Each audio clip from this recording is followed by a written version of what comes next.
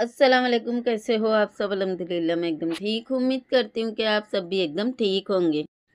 तो शुक्र है, अल्लाह का कि पिटारा बाजी को याद आ ही गया कि बच्चों के बाल भी बनाने होते हैं और बोल रही है कि मैंने आज इसको पकड़ के नहला दी, बाल बना ली, वरना ये मेरे हाथ नहीं आती है, आयत को बोल रही है।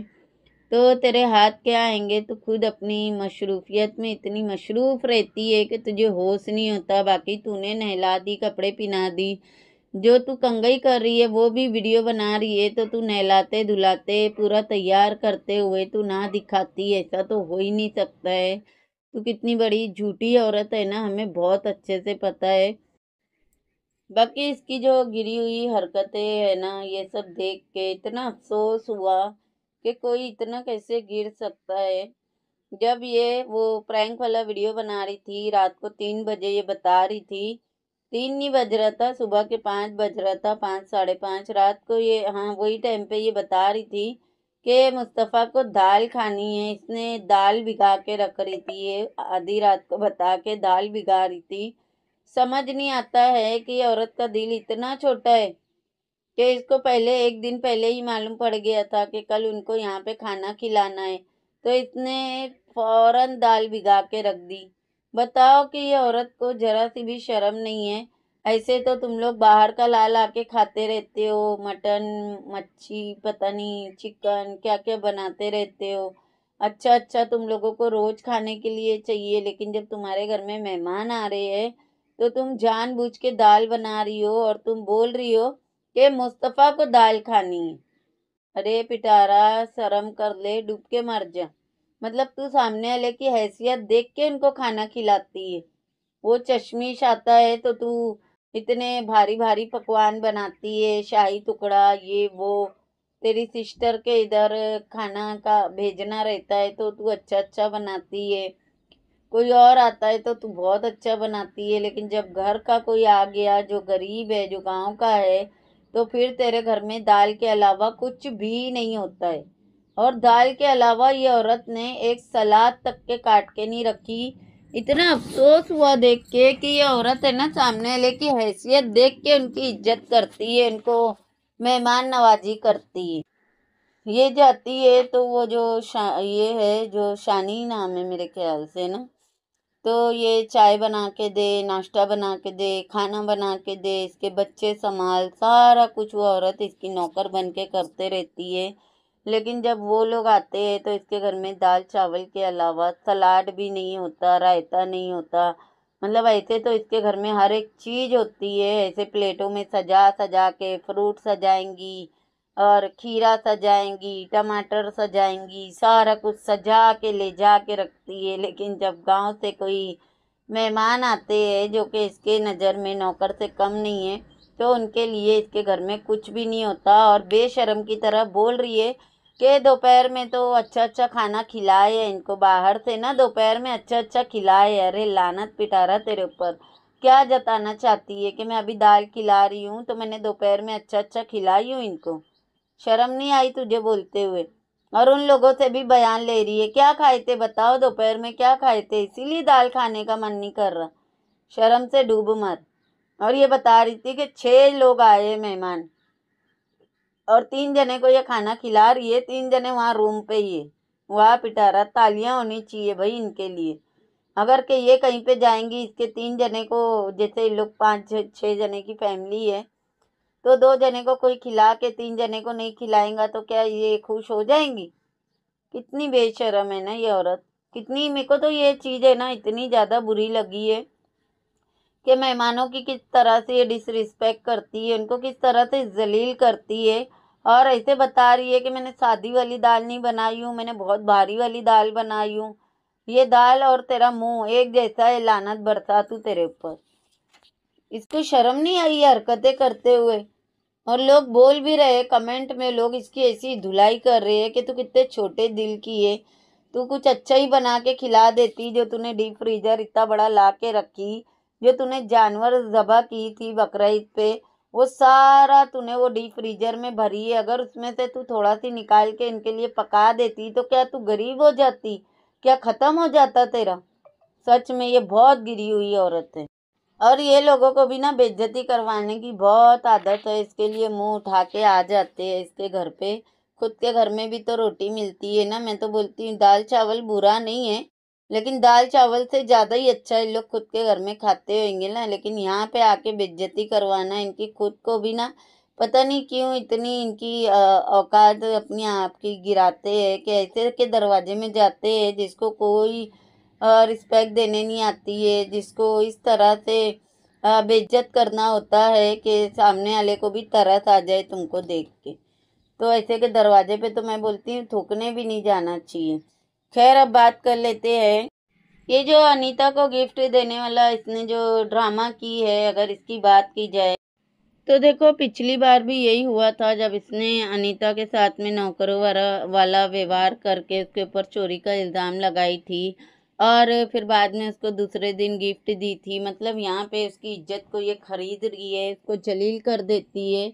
उसके साथ में कुछ ना कुछ ऐसा गंदा हरकत करती है और फिर बाद में उसको गिफ्ट दे के कवर करने की मीन्स के उसको खरीदती है ये गिफ्ट वगैरह दे के आप लोगों को उसमें पता चल गया होगा कि ये गिफ्ट इसने पहले से ही ला के रखी थी उसको देने के लिए। क्यों? क्योंकि इसने जो हरकत की थी ना, सभी को पता है कि अनीता प्रेग्नेंट है। अब पक्की खबर तो नहीं है, लेकिन यही पता है ना। और जिस तरह से ये पकड़े गई है कि अपने घर के लोगों को ये किस तरह से, घर के लोग तो खैर नहीं है, लेकिन ये जताती है कि वो मेरे भाई बहन की तरह है, वो मेरे घर के लोग है। तो ये जताने के बाद में जब ये उनको छत पे सुला के रखी थी तो उसका हर जाना इसने इस तरह से भरी कि इसको मोबाइल लेके दे के दिखा रही है। पिछली बार कपड़े वगैरह कुछ लेके दी थी, इस बार मोबाइल लेके दी थी तो पिटारा किसी को जलील करके इसको कुछ लेके दे देना कवर करने की जो तूने एक बहुत अच्छी टेक्निक पकड़ी हुई है ना तो इससे ना तू बाज आ जा। बाकी इसने जो प्रैंक की थी, इसके अंदर भी लोगों ने इसको बहुत ज़्यादा बातें सुनाए थे, इतना भर भर के धोए थे। लेकिन उस चीज़ को ये आके गुस्सा करती कि ये तो मेरे सपोर्टर नहीं है, ये तो मेरे सब्सक्राइबर नहीं है।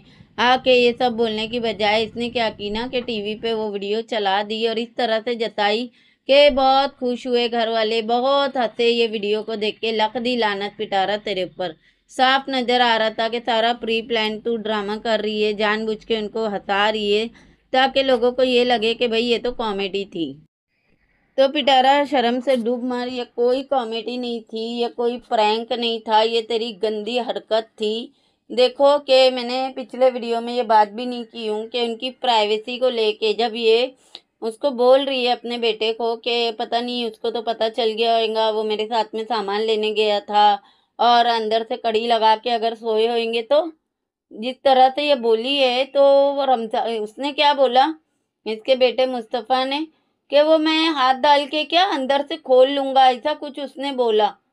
मतलब कि तुम लोग एक तो उन लोगों को छत पे सुला रहे हो ऊपर से तुम लोग हाथ डाल के खोल लूँगा कड़ी। ये सारी हरकतें पिटारा, क्या तूने सोच के ये सारा कुछ की? हो सकता है लोग कोई और इसमें पोजीशन में मतलब के कोई और चीज़ कर रहे हो या ऐसा कुछ हो। तो तू क्या हिसाब से डायरेक्ट जाके तूने दरवाज़ा खोल के उनके अंदर घुस गई? हाँ? मतलब कि तुम लोगों ने किसी को भी नौकर बना के उनको खरीद लिए? पैसा दे के घर का काम करा रही है, इसका मतलब है तूने उनको खरीद लिए तू एनी टाइम उनके बेडरूम में घुस जाएँगी।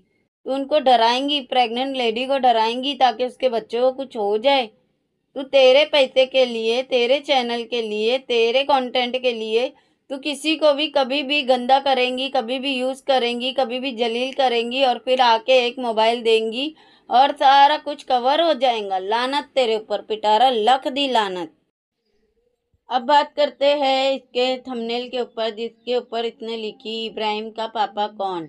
मतलब सीधा सीधा तू कौसर के कैरेक्टर के ऊपर उंगली उठाने की कोशिश कर रही है कि उसका बाप कौन है। बच्चे का बाप कौन है? ये चीज़ जब तेरे ऊपर बोली जा रही थी तो तुझे बड़ा गुस्सा आया था, बहुत बुरा लगा था। मेरे बच्चे के ऊपर कोई उंगली नहीं उठा सकता। हाँ? तेरे जो सपोर्टर है, उनको बड़ा गुस्सा आ जाता है जब लोग सच बोलते हैं। तुझे शर्म नहीं आई? तू कौसर के कैरेक्टर के ऊपर उंगली उठा के इस तरह का गंदा तू टाइटल लगा रही है कि इब्राहिम का पापा कौन और अंदर क्या था? वीडियो के कुछ भी नहीं। वीडियो के अंदर कुछ भी नहीं था। इसने आके झूठ बोल दी कि आयत पूछ रही थी कि इसका पापा कौन है? इसका पापा कहाँ है? कब आएगा? हमें क्या पता उसने पूछी कि नहीं पूछी? तूने सिर्फ़ और सिर्फ़ कहानी बना के ला के इधर पे ये बात रख दी। क्यों? क्योंकि तुझे गंदा सा टाइटल और थंबनेल लगाना था, इसके लिए तूने आके झूठ बोली कि आयत पूछ रही थी। आयत अगर ऐसा पूछ रही होती ना तो तू कैमरा ऑन करके उसको कैप्चर ना करती, ये हो ही नहीं सकता है। पिटारा, तू कितनी गिरी हुई औरत है ना। व्यूज़ की कितनी भूखी है, कैसे तू कौसर को, उसके बच्चे को कैश कर रही है ना, वो हमें अच्छे से पता है। अब इसके ऊपर लोगों को तो बहुत गुस्सा आता है कि इसकी छोटी वाली बेटी के ऊपर कोई क्यों उंगली उठाता है, जबकि हमने तो प्रूफ देखे हुए क्यों इसकी छोटी बेटी या एजाज के ही हाथ में नज़र आई थी? क्यों वो उसको नोट की गड्डी दिया हुआ था? पिछली वीडियो मैंने जो डाली थी, जिसके अंदर ये लाइट बिल को लेके रो रही थी और आयत को सामने खड़े करके ये बोल रही थी, इसको एसी लगती है, ये एसी के बिना नहीं रह पाती है, इसकी वजह से बिल आया। तो ये किससे बिल मांग रही थी? किसको जता रही थी? ज़ाहिर सी बात है, उसके पापा को ना। तो लोगों को बड़ी मिर्ची लगी, कमेंट कर रहे हैं आके। प्रूफ है क्या तुम्हारे पास? हाँ भाई, मेरे पास में प्रूफ है। दिखाऊँ क्या? हाँ? अब ये जो मैंने थंबनेल लगाई हूँ तो मिर्ची तो ज़रूर लगी होगी। लेकिन पिटारा ने यही थंबनेल किसी और बच्चे के लिए लगाई तो तुम लोगों को कोई फ़र्क नहीं पड़ा। जरा भी शर्म नहीं आई कि ये इतना थंबनेल गंदा कैसे लगा सकती है? कैसे ही एक बच्चे के ऊपर गंदा एलिगेशन लगा सकती है, जिसका कोई सच नहीं है? और इसका तो सच है ना? अब खुल के बोलेंगे तो मिर्ची लग जाएँगी। हमेशा बोलती हूँ, बच्चों पे बात नहीं करो नहीं करो, लेकिन ये औरत सिर्फ़ और सिर्फ़ बच्चों का कंटेंट बनाती है, बच्चों को गंदा करवाती है और खुद गंदा करती है। इतनी ये कोई गिरी हुई और बेशरम औरत। क्या समझ रही है पिटारा तुम? कि बस तेरी इतनी दो लाइन बोल देने से वो सारा कुछ कवर हो जाएगा जो तूने घटिया सा थंबनेल डाली है कि उसका पापा कौन है क्या चाहती है तू क्या आ, मतलब तू ये समझ रही है कि कौसर के कैरेक्टर के ऊपर बातें उठवाऊं? जबकि यहाँ पे बातें ये होती है कि इसका तो हस्बैंड ही कोई और है उस चीज़ को क्लियर कर कि इसका हस्बैंड कौन? वो लगा और दिखा हमें। सच में निका नामा ये रहा, ये देखो मैंने इसको रजिस्टर करवाई हूँ। ये देखो कौसर के सारे के सारे डॉक्यूमेंट के ऊपर घोचू का नाम है साथ में, आज तक के हमने नहीं देखे। तो वो सब दिखा के बता के इसका हस्बैंड कौन है? समझ आई? ये मत बता कि इब्राहिम का पापा कौन है, ये बता कि आयत का पापा कौन है, जो कि पूरी वाइटी को पता है। और जो वाईटी जो वाईटी पे प्रूफ आए हुए हैं ना, उससे हट के भी मुझे बहुत कुछ पता है। और ये जो बात है ना, कि इसकी बेटी का पापा कौन है, वो हंड्रेड परसेंट सही बात है। मेरे पास में सारे प्रूफ भी पड़े हुए हैं, सारे बयान भी पड़े हुए हैं वॉइस रिकॉर्डिंग सब कुछ पड़ा हुआ है। लेकिन क्यों नहीं उठाते हम उस चीज़ को सिर्फ़ और सिर्फ़ बच्ची के मुँह पे? सिर्फ़ और सिर्फ़ बच्ची के मुँह पे हम लोग नहीं उठाते। वरना इसने तो नाजायज़ काम किए। तो ये खुद चाहती है कि वो सारी चीज़ें उठ के आए। कंट्रोवर्सी हो व्यूज़ आए इस गदी और गंदी औरत को। ये खुद चाहती है, देख लो, इसको बहुत अच्छे से पता है कि मैं अगर इस तरह का टाइटल लगा के कोई बच्चे के ऊपर उंगली उठाऊँगी, कोई औरत के ऊपर उंगली उठाऊँगी तो मेरी बेटी के ऊपर उंगली उठेंगी। मेरी बेटी के पापा को घसीट के लाया जाएगा। मतलब ये खुद चाहती है कि वो सारा कुछ हो। इसको एजाज की इतनी याद आ रही है। ये चाहती है कि एजाज वाईटी पे आए कुछ बोले फिर मैं सिंपति लूँ। फिर कंट्रोवर्सी होए व्यूज़ आए अरे लख दी लानत पिटारा तेरे ऊपर। कितना तू जलील करवाएँगी अपनी ही बेटी को? कितने प्रूफ लगवाएँगी? हाँ क्या चाहती है कि बार बार वो सारी चीज़ें आती रहे? और तुझे व्यूज़ आए? तू तेरी बच्ची को गंदा करके उसको आ, इस तरह का गलत नाम दिलवा के बदनाम करके व्यूज़ खाना चाहती है। कितनी घटिया औरत है ना, सोचो।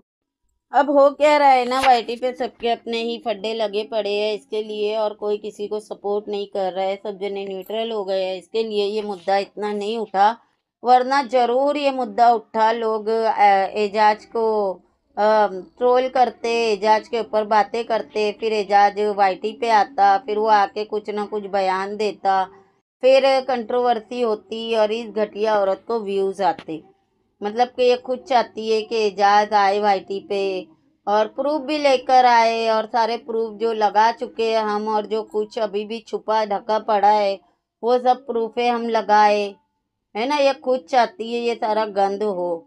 तो ऐसी औरत के ऊपर तो लानत के अलावा कुछ भी नहीं भेजा जा सकता है, जो अपनी ही बच्ची को गंदा करवाना चाहती है। बाकी पिटारा, ये चीज़ें रहने दे कि इब्राहिम का पापा कौन है, वो हमें बहुत अच्छे से पता है। कि गोचू तो नहीं है उसका बाप और ना ही वो गोचू की वाइफ है। ठीक है, जिस तरह से गोचू तेरे बगल में सोता है, तेरे साथ रहता है, तेरे बच्चों को प्यार करता है, तेरे बच्चों की केयर करता है, जो कि गोचू के नहीं, तेरे तेरे, गोचू के नहीं है। ठीक है तो वहाँ से नज़र आता है कि वो इब्राहिम से कितना प्यार करता है, कौसर के पास कितना सोता है, कौसर के साथ कितना रूम शेयर करता है। वो सब हमें नज़र आता है और तू जानबूझ के ये सारा कुछ करती है ताकि एजाज बाहर आए। तू खुद एजाज को बाहर लाना चाहती है। तो तू पहले है ना कौसर के हस्बैंड को बाहर ला एजाज को रहने दे। फिर वो आएगा ना फिर तेरा रोना निकलेगा कि हाँ आदमी लोग औरतों पे बात करते हैं मेरे कैरेक्टर पे बात हो गई। तो तूने अपना कैरेक्टर इस तरह का रखी ही क्यों? और तेरे पूरे खानदान को पता है कि तुम लोग का मियाँ बीवी वाला रिश्ता था सिर्फ़ निकाह नहीं हुआ था। वो भी आ, मुझे ये पक्का पता नहीं है कि नहीं हुआ था क्योंकि पेपर वगैरह नहीं आए ना।